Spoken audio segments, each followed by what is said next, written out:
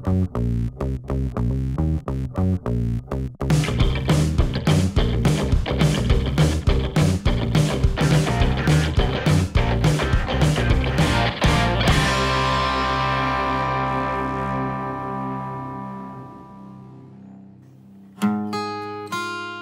dari Delika beranggotakan enam orang. Ada saya Fauzan, Bagus, Baluci, Raya, Irfan, dan Mas Adit. Awalnya mah buat senang-senang aja gitu dan kita juga senang bikin lagu jadi have fun lah gitu. Tapi makin ke sini dengan ngikut Levi's juga jadi ya mungkin ini udah saatnya kita untuk lebih serius sih di musik gitu. Ya syukur-syukur dengan karya-karya yang kita buat ini bisa relate ke masyarakat ya kita bisa jadi full musician lah. Pengennya sih jadi full musician sebenarnya.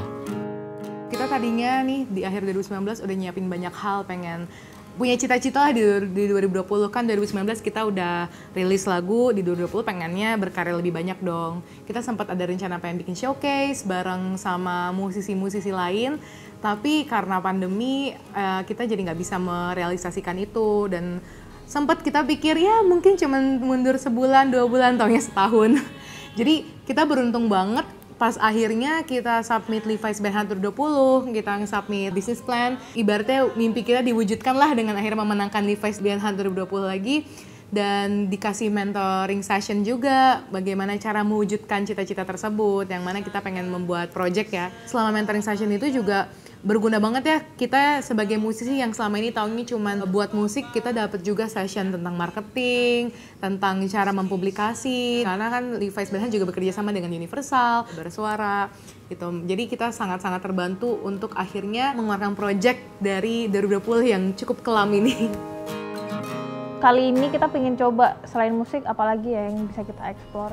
jadi sebenarnya kita tuh pengen bikin video klip series gitu biasanya kita cuma brainstorming tentang musik dan ini kayak nggak cuma audio doang tapi kita mikirin visualnya. Dan ditambah lagi eh, itu sih kita juga ada beberapa yang kota yang beda dan juga kayak kita punya kesibukan sendiri di luar musik.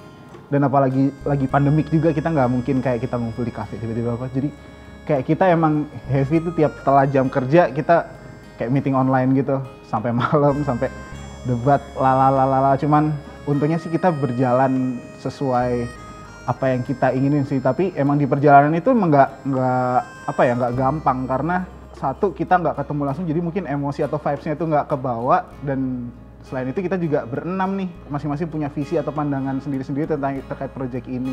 Tapi untungnya eh, dengan semakin banyaknya eh, kita berargumen semakin kelihatan juga nih oh jalan tengahnya di sini progresnya sebenarnya udah cukup lumayan lah. Eh, kita bisa bilang udah 50% lebih lah gitu. Kita udah tahu tempatnya di mana, kita udah tahu direkturnya siapa, DOP-nya juga kita sekarang lagi approach juga gitu. Dan harapannya cerita yang kita akan kasih ke pendengar ini yang eh, mungkin relate sama mereka dan bisa dijadikan nilai-nilai yang bisa mereka bawa mungkin di kehidupan sehari-hari Ki. Di sela ayam terteduh atau kaki yang terpapar Jadi bakal ada tiga lagu, tiga video klip, tiga peristiwa dari tiga sudut pandang yang berbeda yang akan ada di project ini. Dengan dinamika cerita yang udah kita siapin nantinya, emosi kalian akan terbawa di sana. Dan gak cuma musik aja yang bakal kita sajikan kali ini, bakal ada experience yang baru banget yang bakal kalian rasakan juga nantinya. target kita sih rilisnya di Februari 2021 jadi tungguin ya Oke, kalau gitu jangan lupa follow Instagram kami di delika underscore ID. Thank you.